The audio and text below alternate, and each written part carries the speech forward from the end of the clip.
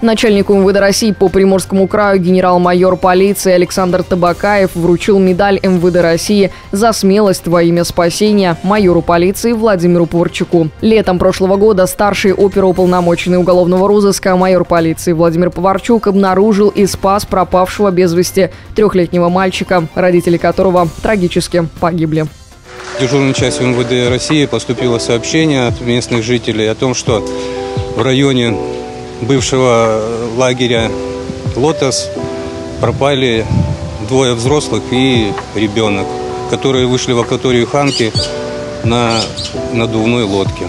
Ну, связавшись со своим знакомым села Троицкое Васильковым Виталий, описал ему ситуацию, на что он мне сказал, что в этот же день, ой, 10 числа, примерно в двух километрах от берега озера Ханка в селе Троицком, видел надувную лодку, ну и каких-то людей в них. Все, после обеда я приехал к нему, попросил о помощи, то есть на его катере пройти по берегу, вдоль берега в сторону села Новониколаевка, ну, с целью обследования территории. Выйдя с ним на его катере, мы прошли вдоль берега, почти дошли до села Новониколаевка и увидели небольшой мыс ну, на озеро Ханки.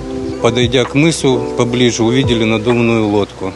Подойдя к этой надувной лодке, увидели в стороне метров 20 от этой лодки на песке лежал ребенок в спасательном жилете оранжевого цвета. Мы подбежали к нему, в это время с другой стороны подошел рыбинспектор. То есть мы одновременно подбежали к мальчику, он схватил этого мальчика и закричал, что он живой, еще живой. Я, в свою очередь, позвонил в дежурную часть, сообщил, что мальчика нашли, и чтобы в село Троицкое, к берегу Ханки, срочно выезжала скорая помощь. Ребенка мы сначала растерли, ну, мышцы размяли, там все такое, стерли с него песок, затем завернули его в теплое одеяло и с Васильковым на катере пошли в сторону села Троицкое, берег.